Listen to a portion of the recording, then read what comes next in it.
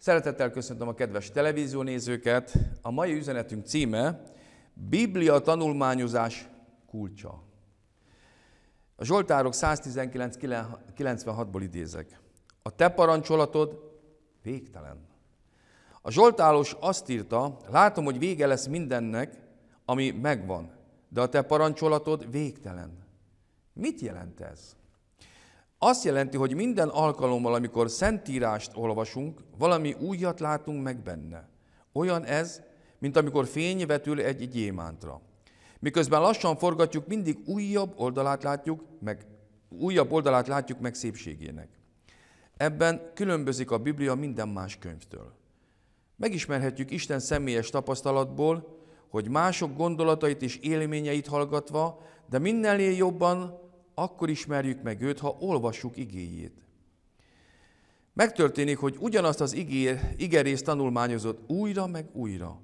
Mélyre ásol, majd három-négy hónapra ott hagyod, és amikor visszatérsz hozzá, ismét sok újat fedezel fel benne. A kulcs, hogy ne hagyd abba, annyit kérdezhetsz, amennyit csak akarsz. Nincs határ. Semmi sem kár, semmi sem korlátozza, hogy mennyi üzenetet kapsz belőle és határtalanul sok alkalmazási módot találsz. Csak ne add fel.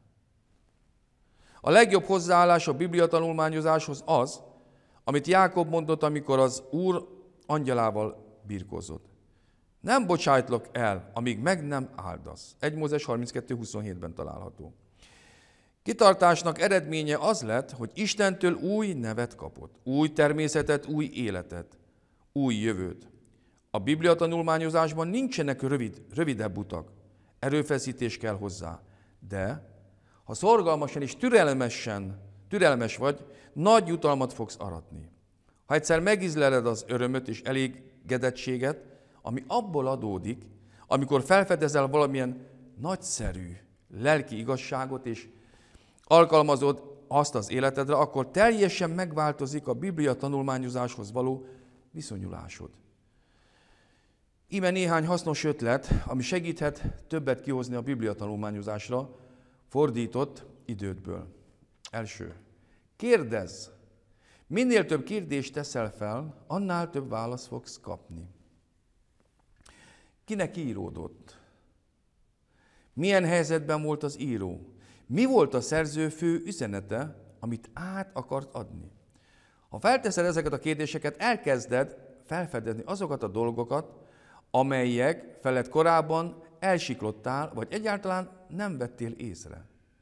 A Zsoltáríró rendszeresen elmélkedett Isten igéjén, mélyrehatóan tanulmányozta azt. Ezért imádkozott így, nyis föl szememet, hogy megláthasson, milyen csodálatos a te törvényed. Második, írd le a válaszokat. Azért kérdezzük, hogy válaszokat kapjunk. Davson Trotman, Trotman, navigátoros nevű keresztény szervezet alapítója gyakran mondogatta. A gondolatokat könnyebb kibogózni, ha kimondjuk és leírjuk őket. Ezért legyen kéznél a jegyzetfüzeted, és írd le az igazság aranyrögeit, melyek Istentől kapsz. Ha nem teszed el, ha nem teszed, el fogod veszíteni őket. Ne elégedj meg a felfedezéssel, cselekedd is. Egyszer egy evangélista mondta, a Biblia nem azért adódott, hogy növelje tudásunkat, hanem azért, hogy megváltoztassa az életünket. Jakab azt írta, legyetek az igének cselekvői, ne csupán hallgatói. Jakab 1.22. Kérdezd meg magadtól, mind kell változnom? Mit kell abba hagynom, vagy elkezdenem? Miben kell hinnem, és mit nem kell elhinnem? Milyen kapcsolatot kell építenem? Hogyan szolgálhatok mások felé? Ne azért olvasd a Bibliát, hogy felfedez valamit, amit még soha senki nem vett észre, vagy valami olyat, amivel hatást gyakorolhatsz másokra.